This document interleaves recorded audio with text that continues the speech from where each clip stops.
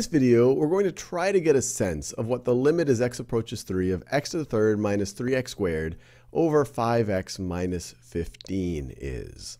And when I say get a sense, we're going to do that by seeing what values for this expression we get as x gets closer and closer to 3.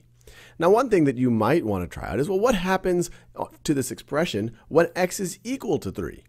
Well, then it's going to be 3 to the third power minus 3 times 3 squared over 5 times 3 minus 15. So at x equals 3, this expression is going to be in the, in the numerator, you have 27 minus 27, 0 over 15 minus 15 over 0. So this expression is actually not defined at x equals 3. We get this indeterminate form. We get 0 over 0. But let's see, even though the function, even though the expression is not defined, let's see if we can get a sense of what the limit might be. And to do that, I'm going to set up a table. So let me set up a table here. And actually, I'm going to set up two tables. So this is x, and this is x to the third minus 3x squared over 5x minus 15. Actually, I'm going to do that again, and I'll tell you why in a second. So this is going to be x, and this is x to the third minus 3x squared over 5x minus 15. The reason why I set up two tables, I didn't have to do two tables. I could have done it all in one table, but hopefully this will uh, make it a little bit more intuitive what I'm trying to do, is on this left table, I'm going to, let's try out x values that get closer and closer to 3 from the left, from values that are less than 3. So for example, we could go to 2.9 and figure out what the expression equals when x is 2.9. But then we could try to get even a little bit closer than that. We could go to 2.99.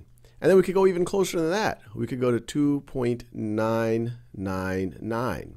And so one way to think about it here is as we try to figure out what this expression equals as we get closer and closer to 3, we're trying to approximate the limit from the left.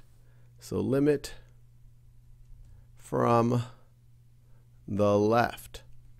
And why do I say the left? Well, if you think about this on a coordinate plane, these are the x values that are to the left of 3, but we're getting closer and closer and closer. We're moving to the right, but these are the x values that are on the left side of 3. They're less than 3. But we also, in order for the limit to exist, we have to be approaching the same thing from both sides, from both the left and the right. So we could also try to approximate the limit from the right. And so what values would those be? Well, those would be eh, those would be x values larger than 3.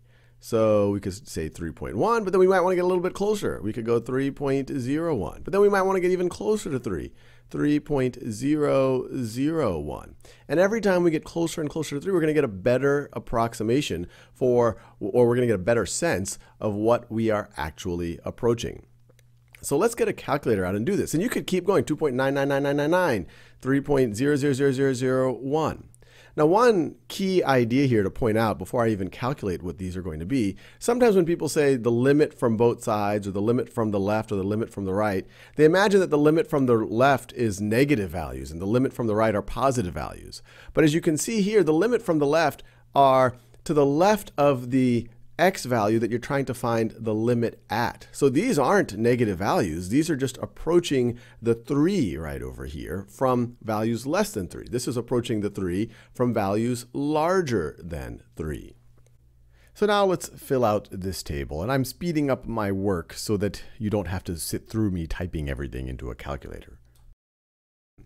So based on what we're seeing here, I would make the estimate that this looks like it's approaching 1.8. So is this equal to 1.8? As I said, in the future, we're going to be able to find this out exactly.